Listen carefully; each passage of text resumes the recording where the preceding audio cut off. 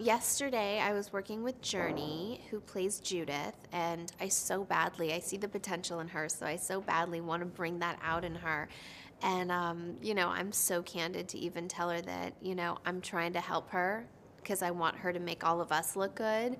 But when people look at her, you know, they don't think she has a mirror or a friend. And, um, you know, it's, it's harsh, but I still see that like I only have the best intentions, which kind of are selfish because I want, you know, the whole office to look great and well put together. And I think everyone is except for her. She's the new girl, so I can pick on her.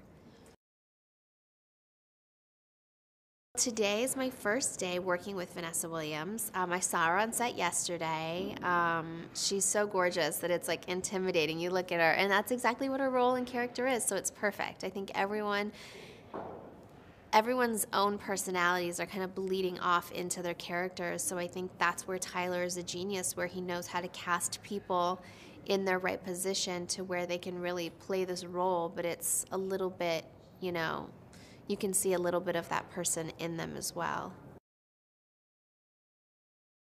I think that everyone in life can relate to a relationship, whether it's a good one or a bad one, or having trouble or in a blissful situation. And so I think Tyler knows that. You know, I think he listens to whoever he grew up around, his friends, other people's stories, friends' stories.